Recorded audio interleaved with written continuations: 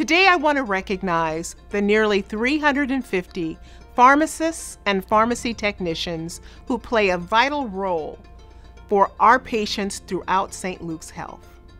Inpatient and outpatient, we can always count on the pharmacy family, quietly working behind the scenes to administer medicines that heal and save lives. We would not have been able to administer more than 300,000 COVID vaccines without our pharmacists and pharmacy technicians, who go to great lengths to secure and coordinate their safe delivery.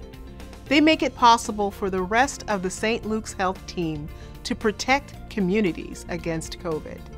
And for those patients battling the virus, our pharmacists and technicians are on it, supplying cutting edge therapies that, in addition to the tremendous work they do in non COVID settings, providing our patients with the medicine they need every single day with precision.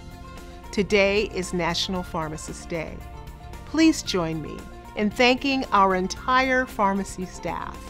We are so proud of you and grateful for everything you do.